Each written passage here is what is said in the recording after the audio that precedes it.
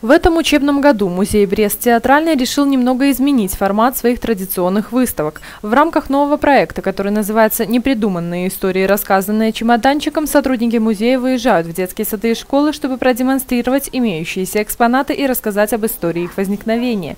В минувшую пятницу чемоданчик рассказывал истории традиционных кукол-оберегов в детском саду номер 19. Все дело в том, что получается мы часто делаем выставки на базе музея, вот, но как бы это помещение большое, то есть выставки должны как бы иметь определенное количество экспонатов, то есть, допустим, и большой объем работы.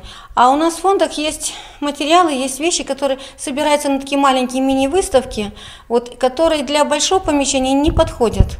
А вот в качестве выездных они очень вполне. Издревле в каждой семье умели крутить не менее 30 разновидностей кукол. И это была не просто игрушка, а оберег и талисман, призванный охранять своего хозяина. Дети, которые занимаются в кружке при музее, воссоздали несколько десятков традиционных кукол. При их изготовлении были использованы только натуральные материалы, которые могли быть и много веков назад. Мне всегда интересна наша традиция и, и что было до наших дней.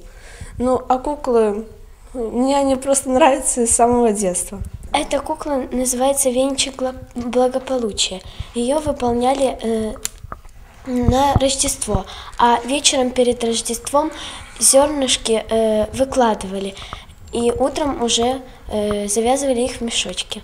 Выездная выставка, посвященная куклам, стала подарком для ребят и вызвала настоящий ажиотаж еще и потому, что любой экспонат можно было взять в руки и проверить, насколько качественно он сделан. А потому сомневаться в правильности выбранной формы экспозиции не приходится. Именно благодаря такой игровой форме подачи информация, даже самая серьезная, легче воспринимается и усваивается дошколятами и школьниками. А потому чемоданчик ждет новых путешествий и готов рассказывать истории новым слушателям.